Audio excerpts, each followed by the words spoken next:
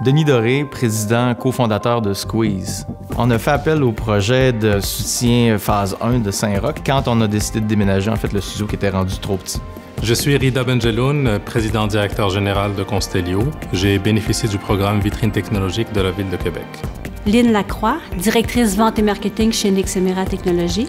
On a reçu un excellent accueil de la part des intervenants à la Ville de Québec. Moi, c'est Caroline Porlier, je suis directrice euh, responsable du bureau d'OVH à Québec. La Ville de Québec a nécessairement fait une différence dans le choix de notre implantation d'OVH à Québec. Anne-Sophie Riopel, vice-présidente opération aérienne de Exotactique. Carole Riopel, vice-présidente développement des affaires Exotactique. On a bénéficié du programme de vitrine technologique au début de la commercialisation du projet. Euh, Sébastien Vachon, président du groupe Corem Géospatial. J'ai participé au programme Élite de l'École d'entrepreneurship de Beauce. Quand j'ai entendu parler du programme de la Ville de Québec, je cherchais vraiment un besoin d'être challengé. Alors, lorsque j'ai rencontré la Ville de Québec ou le développement économique pour la première fois, ils m'ont clairement expliqué qu'on était un client et non un fournisseur. Le programme a pu nous aider à faire une différence dans la commercialisation du projet euh, parce qu'on avait déjà notre premier client. Lorsqu'on est client d'une organisation, on peut des fois dicter euh, les règles du jeu de façon à ce que ce qu'on développe va nous permettre et va répondre à notre vision et à notre développement de marché. Les intervenants au niveau du développement économique sont vraiment pertinents et ça a été très, très apprécié.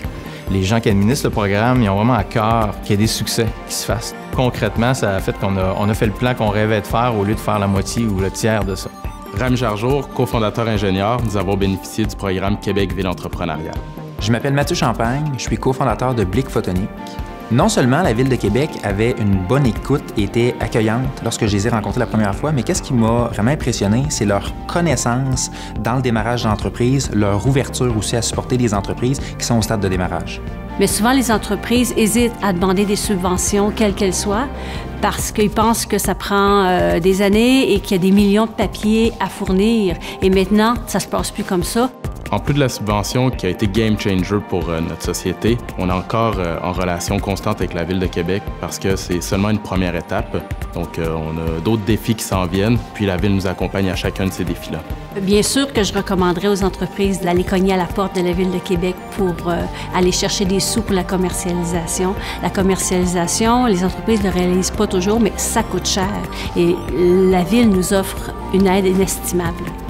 En tant qu'entrepreneur de la Ville de Québec, ma fierté, c'est de créer une entreprise qui va être de classe mondiale.